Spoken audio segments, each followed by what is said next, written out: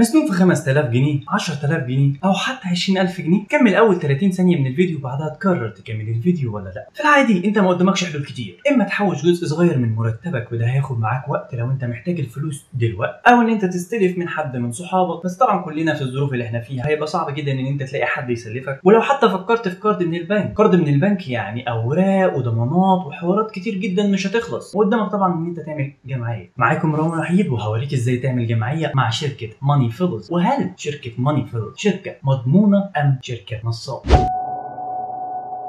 اللي ما يعرفش يعني إيه جمعية. الجمعية هي إن أنت بتجيب عدد محدد من الأفراد تكون أنت بتثق فيهم وضامنهم وكل واحد منكم بيدفع مبلغ كل شهر. الفلوس دي بتتاخد وتتجمع وبتبقى في الآخر مبلغ وليكن 5000 جنيه 10000 جنيه وبتروح لواحد منهم. وطبعا الكلام ده بيتكرر كل شهر دايره وبتلف على كل واحد فيهم. وطبعا الدور ده بيبقى على حسب الاتفاق أو على حسب ظروف الجمعية. طيب دي باختصار الجمعية بس مش هي دي المشكلة. المشكلة إن أنا أجيب الناس اللي أنا هعمل معاهم الجمعية دي منين؟ وهيكون أنا واثق فيهم ولا لأ؟ ولو أنت مكمل الفيديو لحد دلوقتي فأكيد أنت مهتم بالموضوع. ما تنساش بس إن أنت تعزمني على كوباية شاي معلقتين سكر. like و subscribe إزاي هعمل جمعية اونلاين برنامج أو شركة Moneyfellows عملت حل المشكلة دي. عملت موضوع الجمعية اونلاين جمعية رقمية. تمكنك إن أنت تلاقي ناس تعمل معاهم جمعية ويكونوا مضمونين وفي أي وقت أنت تعوزه طوال السنة. وطبعا كمصريين أي خدمة اونلاين فيها دفع فلوس إحنا بنعتبرها نصب أو إن إحنا بنبقى مقلقين منها. فهل شركة Moneyfellows شركة مضمونة أم هي شركة نصابة؟ قبل ما نجاوب السؤال ده أنا عايزك تبقى عارف حاجة كويسة جدا. إن أنت متابع الفيديو ده لحد دلوقتي فده معناه إن أنت مهتم بخدمة أساسا اونلاين وأكيد مقتنع إن الفترة الجاية هتبقى كل حاجة اونلاين دلوقتي في 2020 في كتير جدا من الخدمات الإلكترونية الحكومية اللي تقدر تعملها من البيت من خلال موبايلك أو من الكمبيوتر. زي إن أنت مثلا ممكن تجدد رخصة العربية بتاعتك أو إن أنت تعمل شهادة استثمار في البنك من غير ما أصلا تروح البنك. ودول كنت أنا عملت عليهم فيديوهين هتلاقيهم تحت في ال description لو حبيت تعرف إزاي تجدد رخصة العربية اونلاين من البيت من غير ما تروح المرور أو إن أنت تصدر شهادة استثمار من خلال البيت ومن غير ما تروح الفرع عن طريق خدمة الأهلي نت هسيب لكم الفيديوهات تحت في ال description طيب أنت عمال ترغي ما أنتوا الخدمات الالكترونيه أونلاين؟ ما قلتلناش برضو الشركة دي نصابة ولا مضمونة؟ على فكرة أنا قربت جدا إن أنا أقول لك الشركة دي نصابة ولا مش نصابة. بس في قصة صغيرة جدا عن أساسا ال application ده اتنشأ إزاي؟ أنت لازم تعرف. ال application ده اتنشأ على يد مصريين أحمد الوادي وشوية من صحابه. أحمد الوادي كان بيدرس IT في Germany أحمد الوادي للأسف كان شخص غلبان وكان بالنسبة ل Germany مش عنده سجل ائتماني أو تاريخ ائتماني يقدر من خلاله ياخد تسهيلات ائتمانية. زي card أو ياخد شوية فلوس يمشي بيها دراسته لحد ما يقدر يسدد الفلوس دي. فما كانش في ولا بنك عايز يديله فلوس. أحمد فكر في الموضوع التقليدي ال traditional بتاعنا اللي هو الجمعية. الجمعية مش محتاجة سجل ائتماني ولا ضمانات ولا أوراق. مجرد هتجيب شوية من صحابك كل واحد هيدفع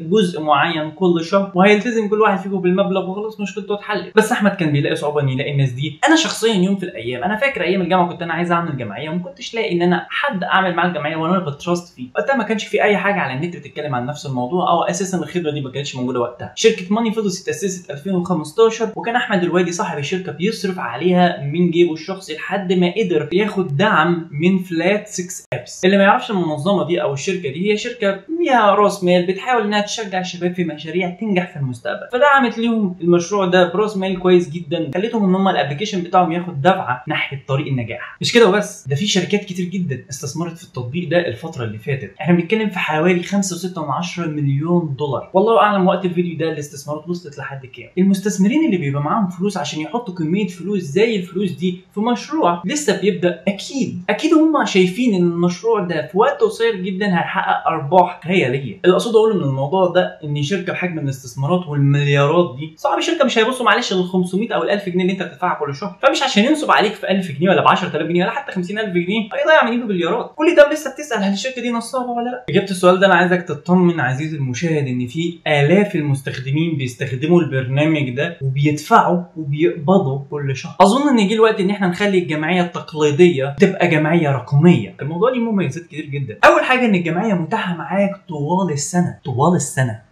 في أي وقت في السنة تقدر إن أنت تخش جمعية. مش لسه تدور على ناس بقى وتشوف ناس. يا فلان تعالى أنا عايز أعمل جمعيه يا كابتن تعالى نعمل جمعية. وقت حالي لا ده حالي. لا طوال السنة. مش كده بس. ده أنت ممكن تدخل في جمعية واثنين طوال السنة. تاني ميزة إن أنت بتضمن إن أنت تقبض في الميعاد في كل شهر. لأن الشركة عاملة شرط جزائي للي هيتأخر عن موعد السداد. موعد السداد في الشركة دي من واحد في الشهر لخمسة في الشهر. وده طبقا للعقد اللي أنت بتمضيه أول ما أنت بتبدأ تعمل الجمعية. أقول لكم الكلام ده كمان شوية. تالت حاجة أنت مش محتاج تستنى الخمس أفراد أو السبع أفراد أو العشر أفراد إن هم يتموا أو إن هم يكتملوا. أنت ببساطة بتقرر بس إن أنت عايز تعمل الجمعية. مجرد بس إن أنت تفتح الجمعية وتختار دورك ال application بيكمل لك بقية المستخدمين اللي هيعملوا معاك الجمعية سواء ناس حقيقيين أو لو ما فيش ناس الشركة بتكمل عدد الأدوار بفلوس من جيبها الشخصي. رابع ميزة فكرة أصلا إن أنت تغير حياتك كلها وتخليها اونلاين أو إن أنت تبدأ تعمل جمعية اونلاين دي لوحدها في حد ذاتها ميزة. أنت متخيل أنت من خلال تطبيق على موبايلك تقدر إن أنت تعمل جمعية؟ في اي وقت في السنة. تمام جدا كده. إيه طرق الدفع والقبض؟ طرق دفع الفلوس عندك خمس طرق في الوقت الحالي. إما عن credit card اللي هي الكارت الائتماني أو بطاقه الخصم المباشر debit card يعني المحافظ الإلكترونية زي فودافون كاش فوري أو فوري بلس كلنا طبعا عارفين فوري وفي كل مكان فيه فوري. أو إن أنت تدفع كاش عن طريق مندوب بيجي لك لحد البيت بيستلم الفلوس منك وبيديك إيصال بحاجة زي كده. كل الحالات الموضوع آمن جدا. مفيش أصلا داعي إن أنت تدفع كاش مالها فوري. فوري خدمة موثوقة. حتى بتجديد الرخصة في المرور. أنا دفعت من خلال فوري. الموضوع كان آمن جدا والموضوع بسيط جدا مفيش فيه أي مشاكل. طيب طرق القبض إيه أنا دلوقتي خلاص هقبض فلوسي. عندك ثلاث طرق. هم تقريبا نفس الطرق. إما من خلال فوري إما من خلال فوري بلس أو من المحافظ الإلكترونية اللي هي زي فودافون كاش ودي أحسن حاجة في الموضوع برضو. أو إن هو يعمل لك تحويل بنك. طيب يا سيدي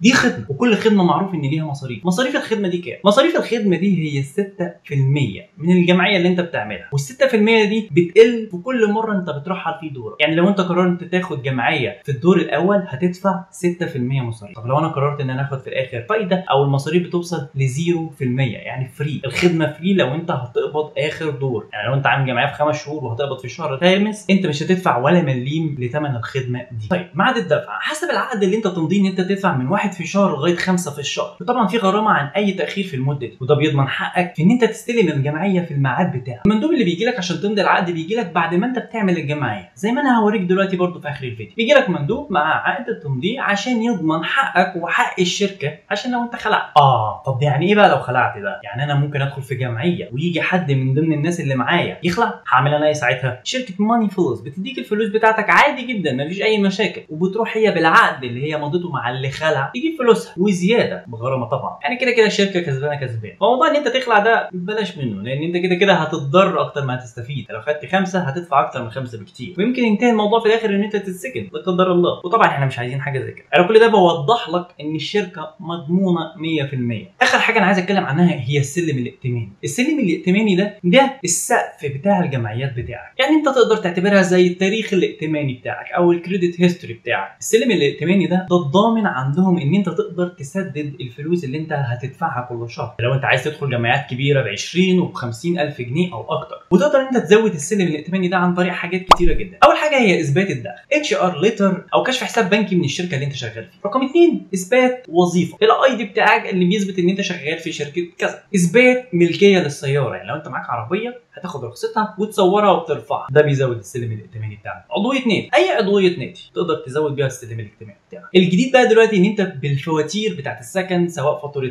غاز فاتورة كهرباء فاتورة تليفون أو فواتير النت أعتقد تقدر من خلالها إن أنت تزود السلم الاجتماعي بتاعك. عفوا السلم الائتماني. وآخر حاجة وأسهل حاجة ودي اللي أول حاجة أنا عملتها في التطبيق إن أنت تزود السلم الاجتماعي بتاعك ل 5000 جنيه عن طريق البطاقة بتاعتك. تصور البطاقة بتاعتك وبترفعها ودي أسهل حاجة موجودة. خليني أوريك إزاي بسرعة البرنامج بيشتغل عشان ما نضيعش أكتر من كده وقت.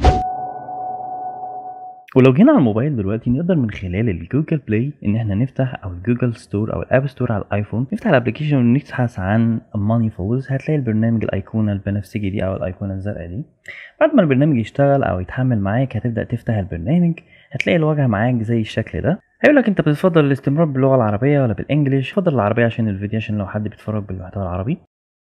اللي هيظهر معاك بعد كده في الصفحة الرئيسية إن أنت تقدر تسجل آه استخدامك على ال application ده من خلال الفيسبوك. أنا عن نفسي بختار التسجيل بالفيسبوك وأنا already أصلا سجلت قبل كده فهيفتح لي البيانات بتاعتي على طول. دي الواجهة بتاعت البرنامج. أول حاجة بتلاقي عندك قدامك الجمعيات المتاحة ليك بحسب الحد الائتماني بتاعك. هتلاقي جمعية قدامي بخمسة جمعية بعشرة بخمستاشر بعشرين. طبعا هو ده الجمعيات المتاحة بس لحد خمسين ألف جنيه. لو جيت تخش على أي جمعية منهم مش هيبقى متاح ليك إن أنت تستخدمها إلا بعد ما تزود السلم الائتماني بتاعك. السلم الائتماني ممكن من خلاله إن أنت تزود الحد الائتماني بتاعك اللي من خلاله تقدر تعمل جمعية ب 50 أو 40 أو 20 أنا عن نفسي هنا أول حاجة عملت التحقق منها البطاقة الشخصية بتاعتي. والسلم الاجتماعي بعدها بقى 5000 طيب خلينا نعمل جمعية كده مع بعضينا كتجربة. في عندك الخمس شهور السبع شهور والعشر شهور. ممكن نشوف الجمعيات المتاحة. زي أنا هعمل اللي هي بتلاتة ونص تمام؟ عشان أنا أصلا إحنا تج... كتجربة يعني. بيقول لك اختار الدور بتاعك الدور اللي يناسبك واقبض الميعاد في ال- في الميعاد اللي يريحك وحساب المصاريف الإدارية 6% وبتقل تدريجيا. بمعنى إن أول حاجة معانا يعني اللي هو شهر سبتمبر إحنا فيه هتد... هت... هت... هتدفع 6% رسوم يعني 6% في 3000 ونص يعني تقريبا 210 جنيه. طبعا القيمة دي بتقل معاك كل ما يكون الدور بتاعك في الآخر. طيب say هنقول إن أنا مثلا عايز استلم الجمعية دي في شهر مثلا هنقول ديسمبر. المكان محجوز مفيش أي مكان نختار مكان تاني. طيب آه تاني شهر آه وتالت شهر تالت شهر ده متاح تمام. say مثلا أنا ناخد رقم اتنين. هيقول لك مصاريف الجمعيه الشهرية تبقى 20 جنيه. طيب أنا لو خدت مثلا المكان رقم واحد اتنين آه، الشهر التاني التالت الرابع الخامس يبقى مصاريف الجمعيه بقت 10 جنيه. لو أنا هاخد ال- المصاريف بقت 10 جنيه برضو. لو أنا هاخد الأخير المصاريف 5 جنيه. طيب 5 جنيه دي في الشهر. يعني انت 5 جنيه في 7 شهور ب 35 جنيه. على عكس لما كان هنا في الأول كانت 20 جنيه. 20 جنيه في 7 شهور يعني ب 140 جنيه. تمام؟ طبعا هي الفايدة بتقل. يعني ممكن لو 6% في أول مكان هتلاقيها أكتر من كده بكتير. طيب أنا هختار مثلا اللي هي الرسوم الشهريه ب 10 جنيه وهنقول انضمام. تمام؟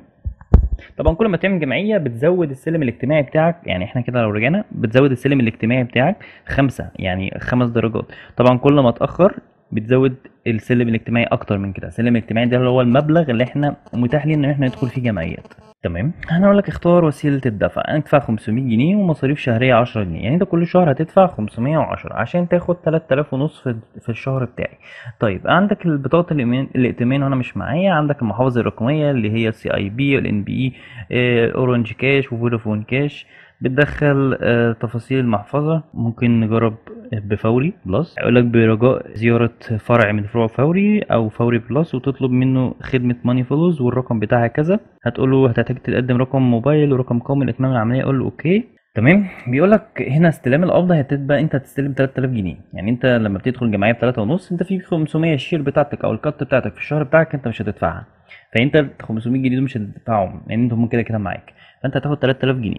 فأنت هتختار مثلا فوري بلس. هيقول لك هتروح ل... لاقرب حد عنده فوري تمام؟ فوري بلس عشان تستلم منه آه، ال- الفلوس. هتقول له التالي. هيقول لك بعد كده توقيع العقد عشان توقع العقد محتاج إن أنت تدخل العنوان بتاعك. طبعا العنوان بتاعك جه هنا من الشرقيه عشان أنا مش شرقية تمام؟ والحساب بتاع الفيسبوك محدد إن أنا مش شرقية. هتلاقي عن طريق ال- التوصيل بس مش متوفر عندي في المدينة اللي أنا فيها آه، أو عن طريق فوري بلس.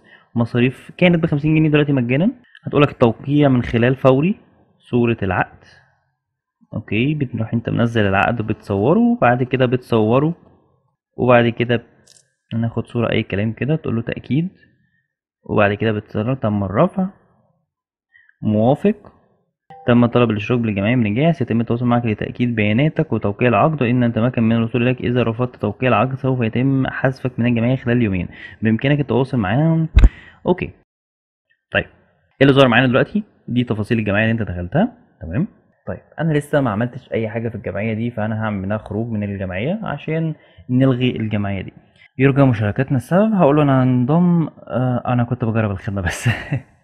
ماشي مفيش مشاكل. إحنا كنا بنجرب الخدمة فعلا. وبس كده ده ال application وده ال application بتاع Moneyfellows. الموضوع بسيط جدا زي ما أنتم شايفين. بس كده ده كان ال application. application بسيط جدا ومفيش فيه أي مشاكل. انت لو محتاج الفلوس ومزنوق فيها ضروري تقدر من خلال ال application تحصل 5000 10000 أو حتى 50000 جنيه. لو الحد الائتماني أو السلم الائتماني بتاعك بيسمح بحاجة زي كده. لكن لو أنت مش مزنوق ومش محتاج الفلوس ضروري تقدر إن أنت تحوش فلوسك للأيام السوداء. وربنا ما يوريك أيام سوداء خالص يا رب.